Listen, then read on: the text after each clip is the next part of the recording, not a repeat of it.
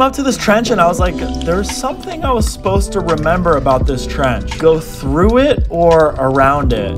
I don't know. Then I went to look in this cave and then this puff boy came out and he was like, hey, what you doing in my cave? And I was like, I'm sorry, puff boy, I didn't mean it. And he was like, well, get out of here and don't you come back again. Then we saw the turtle that I accidentally woke up earlier. Brittany tried to tell him that it was an accident, but there was just no reasoning with him. Dang, I'm really having bad luck with the sea creatures today. Then I found this big metal pole, but now that I'm looking at it again, it makes me think that it might have been used for some pew pew action. Scary. Okay, that's all the stuff we saw. Bye.